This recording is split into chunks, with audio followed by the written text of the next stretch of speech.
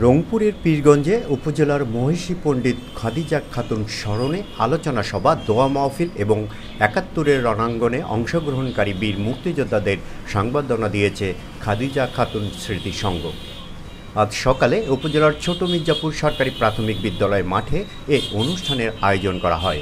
এ সময় প্রধান অতিথি হিসাবে উপস্থিত ছিলেন বড়দরগাহ ইউনিয়নের চেয়ারম্যান বীর মুক্তিযোদ্ধা নুরুল হক মণ্ডল।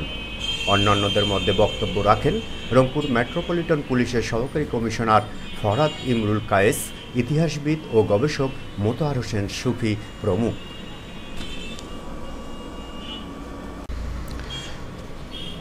রংপুরের পীরগঞ্জে উপজেলার মহিষী পণ্ডিত খাদিজা খাতুন স্মরণে আলোচনা সভা, দোয়া মাহফিল এবং একাত্তরের রণাঙ্গনে অংশগ্রহণকারী বীর মুক্তিযোদ্ধাদের সংবর্ধনা দিয়েছে খাদিজা খাতুন স্মৃতি যে আয়োজনটা হচ্ছে এটা সত্যি প্রশংসা দাবিদার এবং তারা ধন্যবাদের পাত্র। আমরা প্রত্যেকে ব্যস্ত। ব্যস্ত কেন ব্যস্ত ছাড়া তো মানুষ থাকতে পারে না। ব্যস্ততায় জীবন, ব্যস্ততা লাইফ ব্যস্ততায় আনন্দ।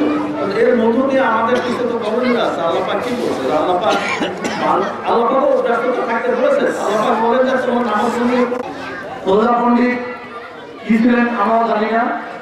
এখন আমরা অবগত হচ্ছি তবে আমি ওনাকে দেখেছিলাম।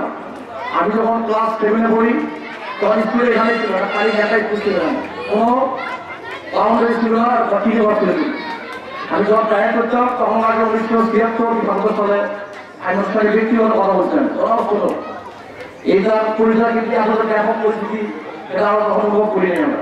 আমাদের যারা পুরুষ ছিল তারা কাজটা করে নাই।